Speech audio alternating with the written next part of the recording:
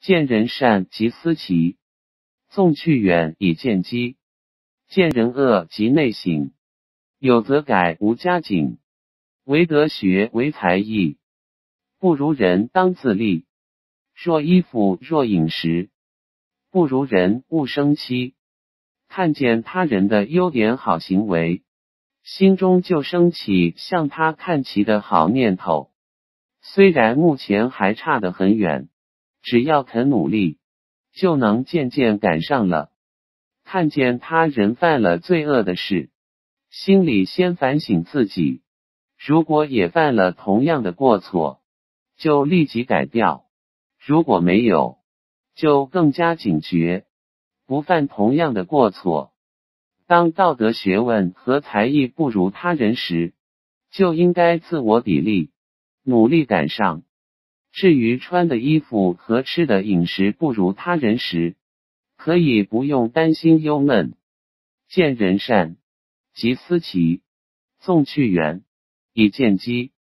孔子曾说：“见贤思齐焉，见不贤而内自省也。”看见贤能的人，心中升起向他看齐的心；看到不好的恶行，反过来自我反省。约束自己不犯同样的过失，这样不断求进步，就可渐渐步上圣贤的大道。这是尽德修业的原动力。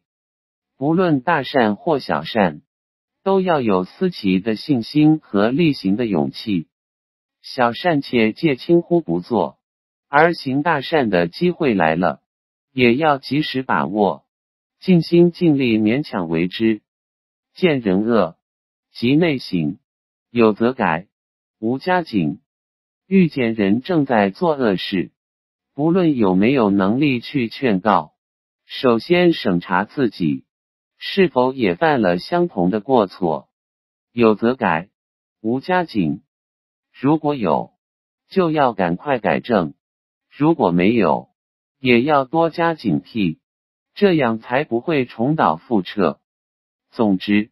要时时觉照自己，提升自己，把精神用在自身的改过迁善之上。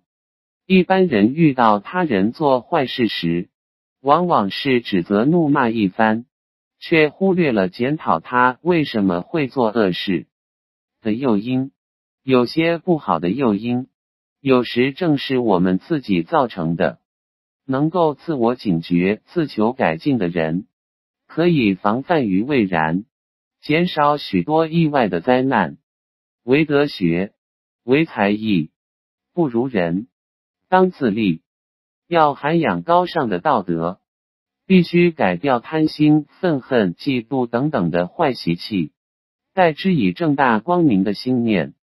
对真正的学问，如孔子所讲的《论语》及五经等，是利人利物的大学问。